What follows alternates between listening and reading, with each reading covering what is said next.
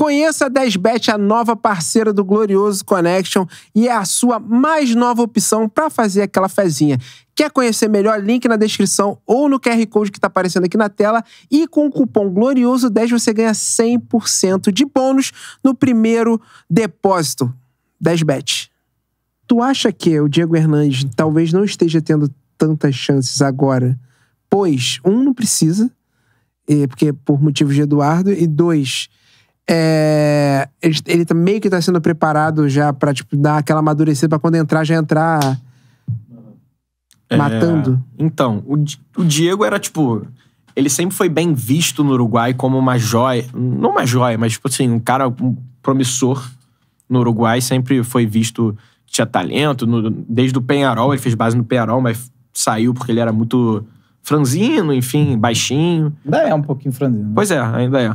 Mas aí ele foi pro Montevideo Wanderers. Aí chegou lá como um cara que, pô, tinha um talento aí no Penharol, mas não ia conseguir por causa do físico.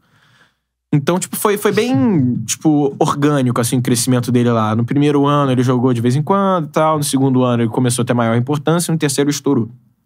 Então, não, não foi um negócio que estourou do nada. Ele sempre foi crescendo, crescendo, crescendo.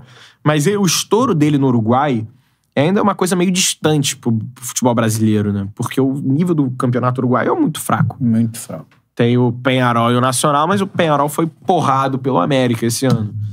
É, que é o lanterna agora do Brasileirão, né? Se eu não me engano. Caralho. Acho que foi 4x0, bagulho escroto, assim. É, Cinco, né? Não, não sei. é, foi goleado. Com esculacho, é. É, então. Ele é um cara que, tipo, é, o salto de, de nível do Uruguai pro Brasil, pro Botafogo, que é o líder, é um salto enorme.